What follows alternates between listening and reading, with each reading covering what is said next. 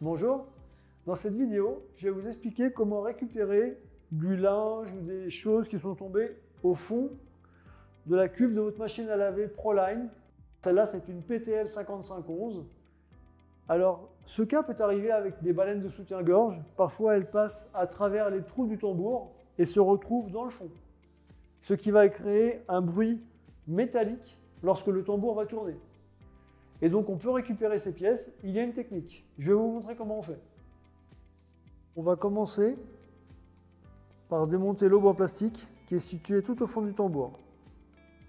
Donc pour la démonter, il faut accéder à l'autre côté du tambour. On va commencer par refermer les trappes. On fait tourner le tambour à la main pour voir apparaître l'aube. Voilà, c'est ici. Ensuite, on peut voir que l'aube est mobile. Donc il suffit d'appuyer ici pour déverrouiller le petit loquet et de la pousser en même temps. Elle va tomber dans le tambour.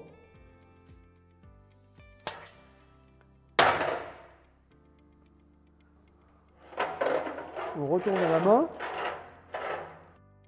On ouvre la trappe d'accès.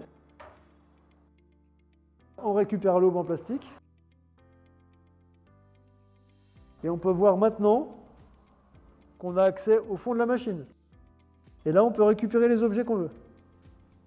Alors, si jamais on n'est pas tout à fait en face, on peut très bien décaler un petit peu. D'ailleurs, on voit la résistance au fond. Pour le remonter, il suffit de le remettre en position. Donc, il faut le positionner comme ça, et ensuite de le pousser vers moi. Voilà, ça fait cloque. Alors, un conseil, Ensuite, vous refermez la trappe et vous vérifiez en le bougeant comme ça qu'il est bien verrouillé. Voilà, là c'est le cas, il n'y a pas de problème. Donc là, vous pouvez recommencer à utiliser votre machine sans aucun problème. Si vous avez aimé notre petite astuce, vous pouvez nous laisser un pouce vers le haut, nous laisser un commentaire et surtout, n'oubliez pas de vous abonner à notre chaîne. Merci